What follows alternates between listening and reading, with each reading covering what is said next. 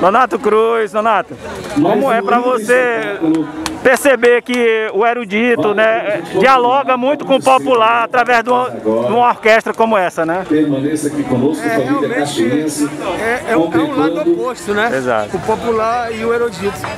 Se bem que em alguns momentos eles se encontram. E quando se encontram, fica maravilhoso, né? Que você tá vendo de a plateia toda popular assistindo peças eruditas e gostando. Agora, como eu estava 8704, comentando com o secretário, que tipo assim, é, nós temos que ter desse tipo de água gente vai passar em beber, entendeu? Pra gente começar a gostar disso e que, quem sabe um dia sonhar com a orquestra sinfônica?